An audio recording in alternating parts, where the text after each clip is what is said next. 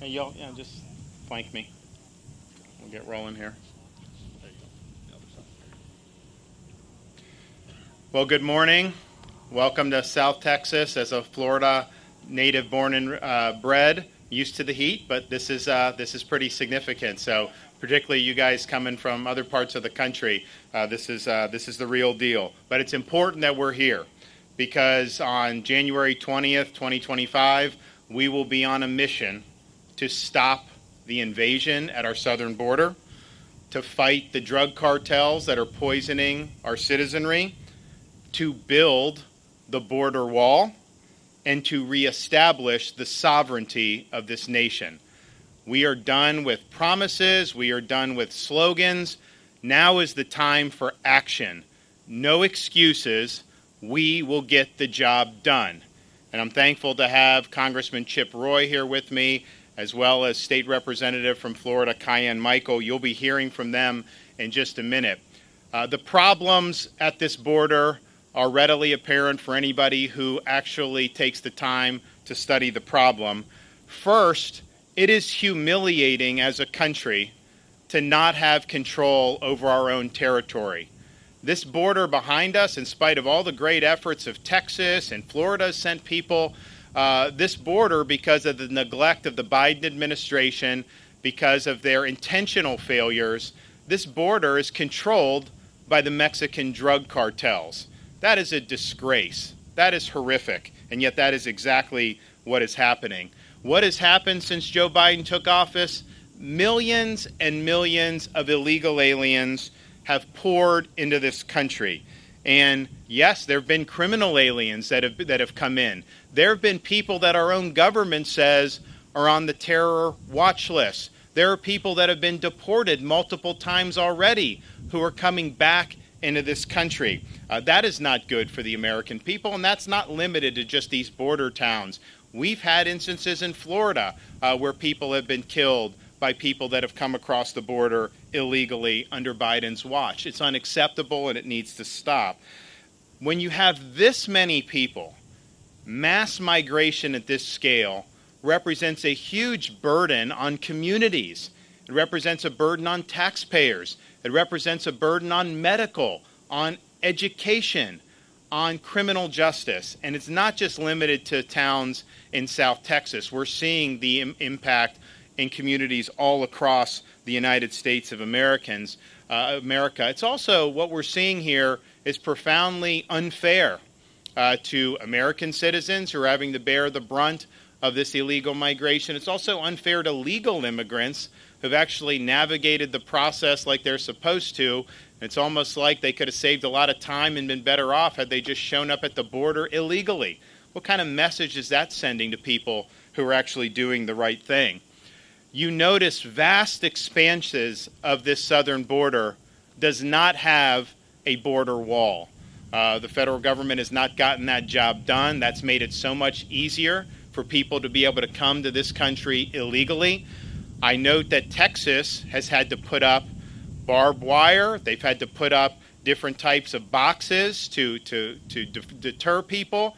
And I'm glad that they're doing that. But honestly, this is a national border. This is the border for the United States. It should be the national government, the federal government, who's coming in and securing it. And yes, I support the state stepping up in these instances, but this is a major failure that people are allowed to come in uh, the way they are.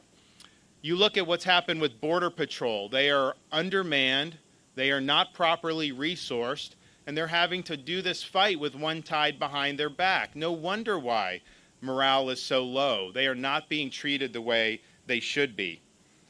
And I think that anybody, if you want to say that this is a, a Texas problem or an Arizona problem, uh, then the only way you can say that is if you totally close your eyes to the devastating impacts of fentanyl on this country.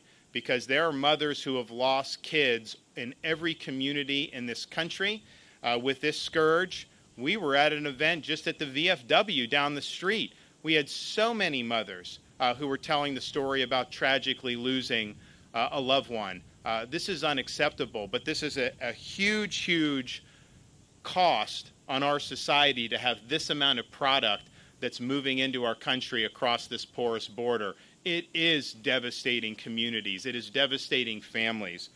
You also see the cost of the people who get caught up in this operation. Because what it effectively is, it's a vast human smuggling operation orchestrated by the drug cartels, but tacitly encouraged by the U.S. federal government. Florida actually has an investigation, a big grand jury investigation in place. That grand jury has issued reports, and it has documented how some of these minors are being treated by being brought across the border in ways that are really, really horrifying. Many of the people who are making this trip are victimized uh, by what is going on in Mexico and here across the border. So we need to do something about it.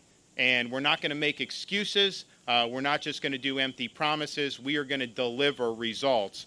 And this is going to be a day one priority starting January 20th, 2025. First, we are going to declare this issue of the border to be a national emergency on day one. That will give us authorities to be able to marshal all available resources uh, to be able to meet this moment uh, and reestablish the sovereignty of our country. That, of course, involves reversing Joe Biden's disastrous border policies. We are going to end catch and release. Uh, we are going to end phony asylum claims, and we will do everything we can through executive action. We'll also support legislative initiatives such as what Congressman Roy has d- done. We are going to build a border wall. Walls work. When you have the walls in place, uh, it diverts traffic uh, away from that, and it makes it so that the Border Patrol and, and ICE are able to do their job appropriately. So that's going to get done, and we've got to wade through bureaucracy, we got to cut through red tape. We have a history of doing that in Florida. When Hurricane Ian came, it knocked out bridges in southwest Florida. People said it was going to take six months to be able to repair these bridges. The residents of the islands were told to get off the islands. That just, just couldn't get done. They came to me and asked if the state could take over. We did. Uh, we did the Pine Island Bridge. It didn't take months. We did that in three days. We did three breaks repaired on the Sanibel Causeway in two weeks. And so you can do it, and I think a leader will identify ways in which you can get the job done, not make excuses about why you can't get the job done. I've also noticed if you go, we were in Arizona recently, you know, there was a big, big wall, and it stopped, and so people could just go around it. But if you go to parts of the wall where, where it was there, you'd have the drug cartels actually cut through these really strong metal beams. And you have these guys with the backpacks, and they scurry right in through the wall. And I'm just thinking to myself, how could a country let that happen? So we're going to we're going to create adequate rules of engagement. If somebody were breaking into your house to do something bad, you would respond with force. Yet, why don't we do that at the southern border? So, if the cartels are cutting through the border wall, trying to run product into this country, they're going to end up stone cold dead as a result of that bad decision. And if you do that one time, you are not going to see them mess with our wall ever again. You can sit here and talk about uh, all the different things with respect to illegal immigration, but if there's not an adequate sanction for coming illegally, you're going to still have people that want to come. If you can come, get a sheet of paper with a court date to come back in two years uh, and stay in the interior of our country, of course people are going to do that. And so when people come illegally, the policy is you're apprehended and you're removed back to your home country. You should not be released into the interior of this country. And so, yeah, part of that will be remain in Mexico and having some of those policies with asylum claims, but part of it has got to be at the border, immediately repatriating, and then having robust interior enforcement, such as not having uh, employment uh, for people that are here illegally. We need to support the Border Patrol. They need to be paid uh, higher salaries, and we will uh, support doing that. They also shouldn't be have to do their jobs with one hand tied behind their backs, and that goes for immigration and custom enforcement as well. So we're going to have a rule of law. When that law is violated, there's going to be a sanction for doing that, and if you're able to establish that, uh, you are going to see uh, this problem go down dramatically. And we speak from experience on this too in Florida. We're not a southern border state, but we are a maritime state. And we have boats that run illegally, attempt to run into Florida from places like Haiti and Cuba. The Coast Guard is in charge of doing that. They do a good job, they just don't have enough ships. So Florida has surged our maritime assets. We fill in the gaps. People that come on these boats are interdicted, turned over to the Coast Guard, and then they're deported back to Haiti or Cuba or wherever they came from. And once we started doing that, the number of boats even attempting to come fell off dramatically. Why would you want to go make this type of a journey across, you know, really uh, choppy water sometimes if you know the end result is that you're going to be sent back to where you came from. People realize they're not going to do that. Same principle applies with this border. If they know they're not going to make it to the interior of the country, you're going to see a huge decline in people willing to do it. Now, in order to get that done, we are going to empower states and localities to enforce federal immigration law. Right now, they say, oh, only the federal government can do it. And that would be one thing to say if states were trying to undermine the law, and I think they can't do that, but there's laws on the books. The federal government is not following it. They are doing things like catch and release, which they don't have the authority to do. And yet you have a sheriff down here, or you have Texas wanting to step up uh, and do what needs to be done, and somehow they should be handicapped from that. I don't think so. I support the right of states and localities to enforce federal immigration law as long as you're upholding the law and not trying to undermine the law. You're going to be able to do it, and we are going to uh, support you. On the flip side of that, we are going to penalize sanctuary jurisdictions. If there's a national policy that, that immigration must be lawful, and you have states and cities that are undermining that by saying they're not going to cooperate, that is totally unacceptable. And so we'll pull the levers at our disposal uh, to penalize jurisdictions uh, that do that. We also need to remove the incentives to come illegally to begin with. And that means employment, that means taxpayer financed benefit. It also means this idea that you can come across the border uh, two days later have a child and somehow that's an American citizen. That was not the original understanding of the 14th Amendment. Um, and so we'll take action to force a clarification of that. Uh, but I think it's wrong that people would use our country for things like birth tourism. So we're going to be removing the incentives to come into this country illegally.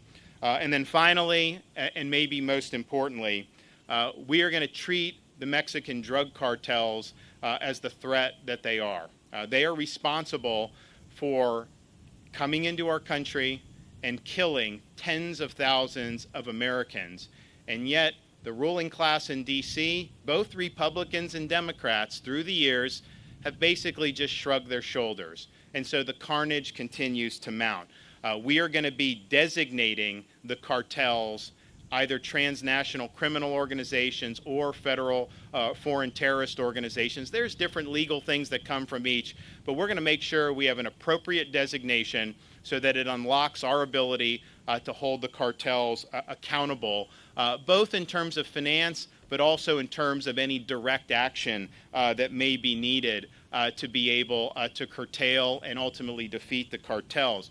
Part of that recognizes that with the current fentanyl trade, a lot of what's happening is these precursors are sent into Mexico, the cartels are creating the drug, and then they're moving the drug into the United States of America. We'll mobilize the Coast Guard and the Navy to interdict precursor chemicals. It's totally unacceptable that, they, that we would just simply allow that to happen, knowing the huge, huge death toll that's resulted uh, because of what the cartels are doing. So this is going to be a day one priority for us. There's many more things we're going to do, and we'll talk more about that in the days, weeks, and months to come. Uh, but at the end of the day, uh, we are going to be the administration that finally brings the issue of our southern border to a conclusion. Uh, we will stop the invasion. We will reassert our nation's sovereignty, uh, and we will fight these cartels uh, so that Americans stop dying from their poison. I want to recognize uh, Chip Roy to come up and say a few words, and then Kiyan Michael. Well, thanks, Governor. Uh, it's an honor to be here standing alongside him. Uh, a couple of weeks ago, federal judge in the Northern District of Texas, Reed O'Connor, issued an order in which he upward departed on the sentencing guidelines because of the horrors that he saw in a stash house in Fort Worth, Texas.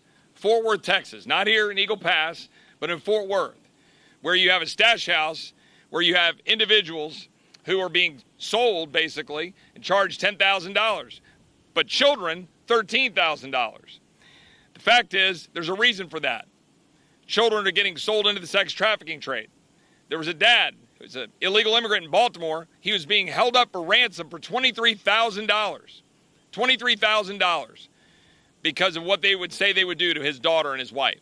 That's what the greatest country, the most powerful country in the history of the world, has allowed to happen with our borders.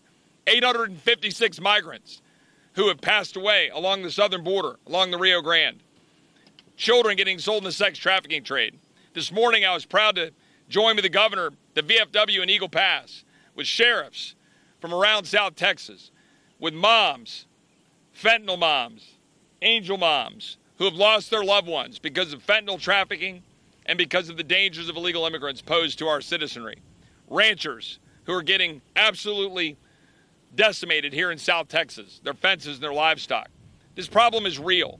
And that's why I'm proud to be standing alongside Governor DeSantis who has a proven track record of doing what he said he would do, of getting things done. He's helped us already, sending the National Guard. He's helped us already, sending Florida troopers. He's here to protect us, doing the job to protect Floridians while also standing alongside Texans on the front lines. That's the kind of leadership we want to see. The kind of leadership that led to winning by a million and a half votes in Florida, winning Hispanic voters by 62%, and winning single women 50% of single women voters. It is time, as the governor said, for no excuses. The American people are tired of it. No more excuses. Secure the border, no excuses. Build the wall, no excuses. Follow the law, enforce the law, no excuses. And take out the cartels and restore our operational control of that border, no excuses. Governor DeSantis is the man to do that, and I'm proud to endorse him and support him. we were able to, as Chip mentioned, uh, meet with angel moms who've had uh, loved ones killed uh, because of this open border. And this is not something that, that unfortunately is new in this country. Uh, this has been happening for many, many years. And uh, a lot of people, uh, a lot of elected officials, both Republicans and Democrats in D.C., they just ignore these folks. they're not doing anything to really uh, make life better or to vindicate the losses uh, by saying it's not going to happen again. We just feel differently about this. We think um, you know our angel parents need to be heard from, and we need to make sure that we're reforming in ways uh, so that doesn't happen anymore in the future. And so joining us is uh, Kiyan Michael. She's now a Florida state representative that just got elected in November, but I got to know her when we were doing our uh, efforts to combat illegal immigration in Florida way back in 2019 with the ban on sanctuary cities. And she carried our most recent uh, uh, bill to curb illegal immigration in the state and has really been a champion uh, for this issue because it's very personal to her. So she's going to uh, share her story uh, with you right now. Well, thank you so much, Governor. And I am here mainly because I know firsthand what happens when we do not secure our border. Unfortunately, what propelled me to run for state house was because I knew the borders were going to be left wide open. And because of what happened to our family in 20, uh, 2007, August 15th, our son, Brandon Randolph Michael, all the way in Jacksonville, Florida, which would not have been considered a border city or town, but because the failures here didn't stop and, and we're not, the laws were not upheld, we are now having big issues uh, across the United States. Brandon was 21 years old.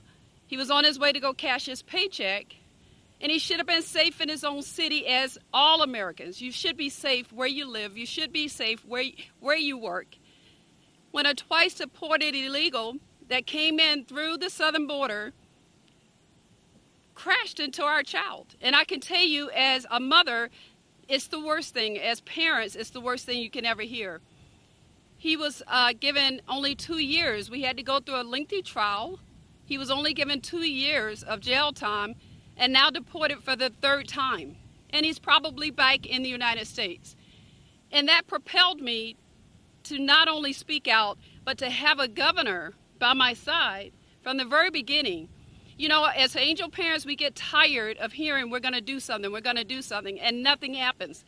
But Governor DeSantis sat down back in 2019 and he sat across the table uh, with sheriffs, with, looking us in the eyes and listening to our story. He wanted to hear uh, from us what happened, and I could see that he actually cared.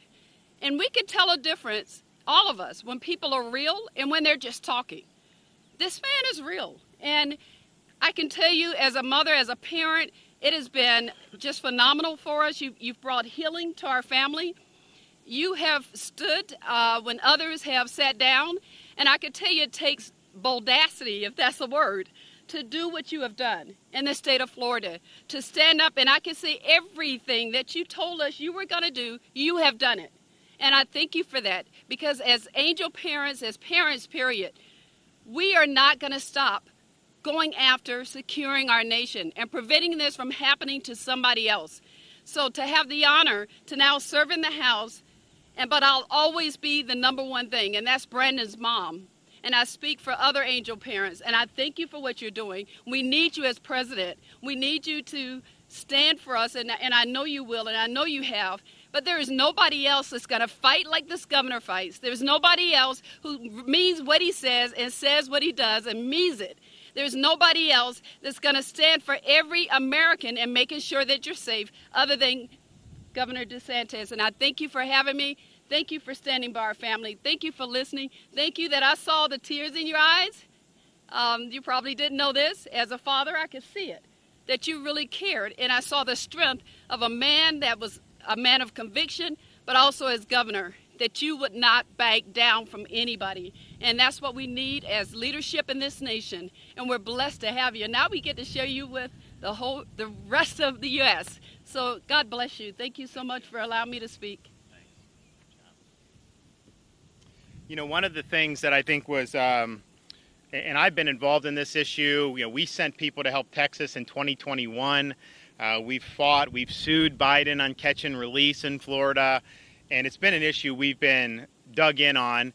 And we obviously understand a lot of the really negative impacts to our society. But I'll tell you, just having been here, talking to folks, uh, listen to their stories. I mean, to have you own property down here, and in the middle of the night, you got 10 people banging on your window at 2 in the morning who had just come across the border illegally. How many Americans in other parts of the country would ever be willing to just tolerate that if that was happening in your communities? Of course, you wouldn't do that. Uh, how many mothers have had to bury loved ones? We're not going to do that. We know where North is, and we're going to get it done.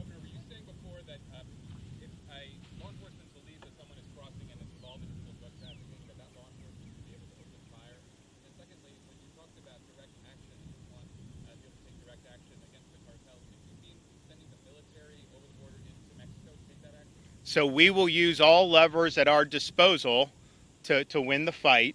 Uh, I think if you look at if somebody is breaking through the border wall, which they are doing in other parts, uh, demonstrating hostile intent uh, or, or, hostile action, uh, you have to be able to meet that uh, with the appropriate use of force. I, I, don't see how you can just let them do that and, and carve through a wall on sovereign U.S. territory with a backpack full of drugs and so we, we yeah, of, of course, of course you use deadly force. I mean, how would you let somebody, would you let somebody just break into your house and do you harm? No. And, and I could tell you in Texas, they wouldn't, they wouldn't do that. You know, try that in Texas. Why is our country any different? And these guys will bring like blow torches. They have a huge thing that the cartels are doing. And how embarrassing is it that we have a, uh, we, in the places we have a wall, I was there the other day in Arizona. They're repairing the wall because they busted through the wall. I mean, that is just unacceptable. And I tell you, if if you go if you drop a couple of these cartel operatives trying to do that, you're not gonna have to worry about that anymore. They will not mess. They're only messing with it because they know they can get away with it. Sheriff Salazar in Bexar County has filed charges against you for shipping migrants. to- Against me, Yes. Uh, I, that's news to me. are you going to continue to ship migrants from San Antonio to other places? And can you tell us why you decided to use San Antonio as your hub? So uh, we have uh, a program for transport to sanctuary jurisdictions. Uh, it is done by contractors who, who take the job and they are able to do and identify sanctuary jurisdictions as appropriate. Uh, it's not being directed in any one particular part of Texas or Florida or anywhere else, and it's someplace that can be um, done at, at their discretion. And so I think it's been very effective, uh, and it's something that our legislature has authorized and will be, continue to be used. Yep.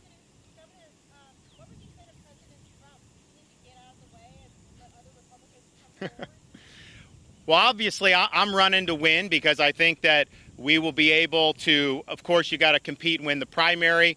We think we can win a, a really strong general election victory, expand the Republican majorities in the House and Senate, and then actually be able to bring all these issues uh, to fruition. And when you bring the issues to fruition and actually get the job done and deliver results, that at the end of the day, I think, is what people really, really want to see. And in Florida, everything we promised, we did, and we actually over delivered um, on our promises. And I think that that's something that's very, very significant uh, when you look at most people that get elected to office, they overpromise and underdeliver. How many times have you seen somebody meet the promises, much less exceed them? And I think that that's the mindset that we have. But part of the reason we're able to get this done is because you know we just have a discipline and focus about doing the people's work uh, and getting that job done. You know, my job is a vehicle and a leader uh, to be able to bring all this to fruition, and we're very focused on making sure that these things uh, get done.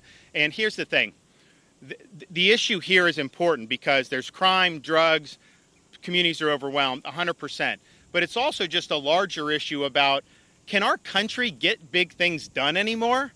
I mean, I kind of feel like like during World War II, we would have had this border sealed, you know, in a, in a couple weeks. Now we're in a situation where this has been a problem for years and years and years. So I think it'll be good for the country to just say, you know what, they finally dealt with the issue.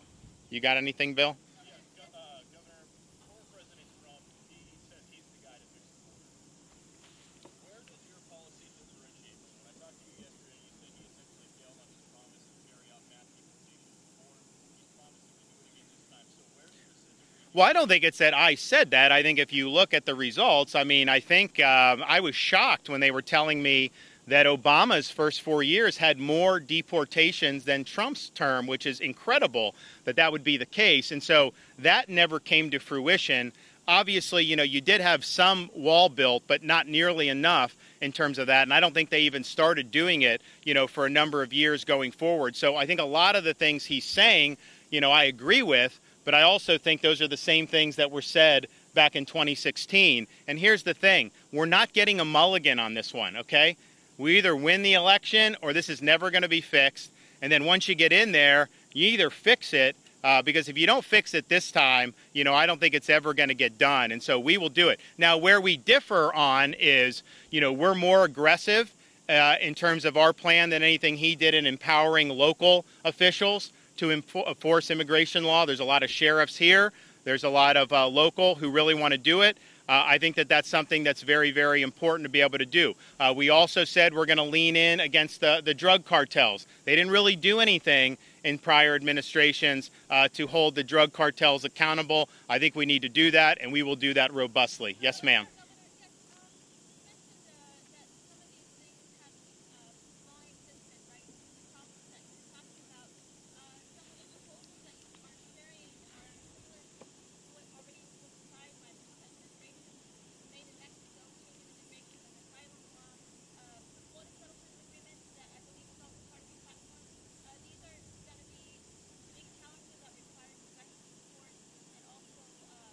Well, some do.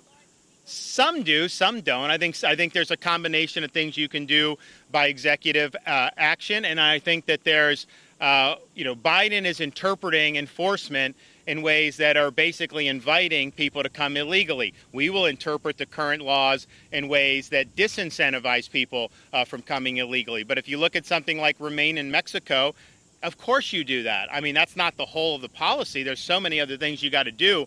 But why, if somebody is traversing multiple countries and then claiming asylum here, would you give them a ticket to go to the interior of the country? Normally, if you are somebody that legitimately qualifies for asylum, the first country you get to, you claim asylum. That's the expectation, and yet that hasn't happened. Uh, you, you have people come across multiple countries. So there's a lot we can do uh, just in terms of saying, here's the marker that we're going to have. Uh, but I can tell you this if people realize doing this big trek, claiming asylum, is not going to get you a ticket into the interior of the country, you are going to see a huge, huge reduction in the number of people that are even going to try to do this uh, going forward. And that's, I think we showed that in Florida, quite frankly, with our maritime policy, uh, and I think we would show the same thing here uh, today. Yes, ma'am. How would you work with Mexican President AMLO? He has spoken out against the notion of having American troops on Mexican soil. He's also spoken out against the U.S. labeling cartels as transnational criminal organizations. How would you work with I don't know that he's going to be in office. I think his term will be up, and so it'll be interesting to see who ends up being there. Um, but look, we're going to use whatever leverage we have to ensure that this issue is brought to a conclusion. And I think Mexico, in the past, they've been helpful on some things, very unhelpful on others. Clearly, you could not have millions and millions of people illegally crossing our border if Mexico uh, was a 100% partner with us in this. And so I think that their government's relationship to the cartels is not something that, that I appreciate. Uh, we're going to be much stronger on the cartels. I know that he said he wants to run, basically run interference for the cartels. I think that's a mistake. I don't think the cartels have been good for Mexico, but I can tell you uh, it's been an absolute disaster what they've been able to get away with here in the United States. And so we're going to bring our authority to bear to make sure that we're defending this country and defending the American people. All right, we'll have more to say later, guys. Thank you. Appreciate it.